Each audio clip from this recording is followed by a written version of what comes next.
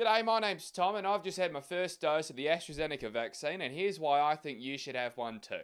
Life in lockdown is hell. I mean, the suicide rate, the domestic violence, the economic hardship, and the short and the long term, the loneliness, the just general misery, you know, all things we don't want to see going in the upward direction, right?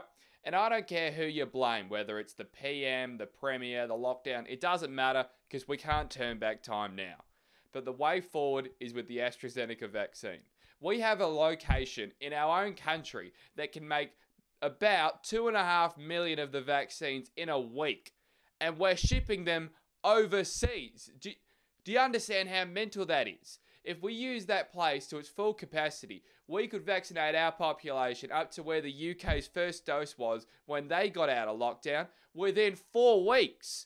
That's no lockdowns, no QR codes, no bans on visiting your mates within four weeks. Now, there's been a lot of talk about blood clotting risks, and that's been blown completely out of the water. And let me explain to you why, with the only measurement Australians understand footy fields. The MCG holds about 100,000 people, and let's just pretend they're all between the ages of 18 to 29.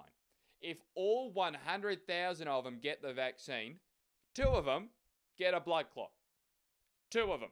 If the wanker on the megaphone shouted, and two of you are going home with a brand new car, most of us would figure out that there's no real risk of that happening. And let's say that you're somehow unlucky enough to get yourself a blood clot.